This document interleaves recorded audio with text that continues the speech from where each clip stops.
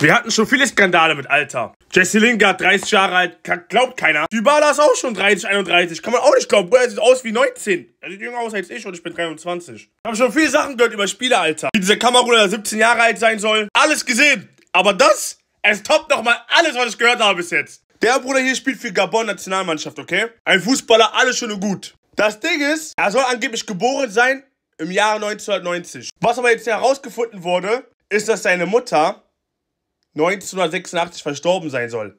Jetzt erklär mir einer, seine Mutter ist 86 gestorben, aber erst 1990 geboren. Bruder, wenn du schon fällst, dann fällt doch nicht so dumm. Hat er nicht nachgedacht mit der Urkundenfälschung, es irgendwie ein bisschen zu korrigieren? Okay, okay, er wollte ein paar Jahre jünger sein, aber Bro, Mutter ist vier Jahre vor seiner Geburt gestorben. Wie soll das gehen? Deine Mutter ist 6, 6,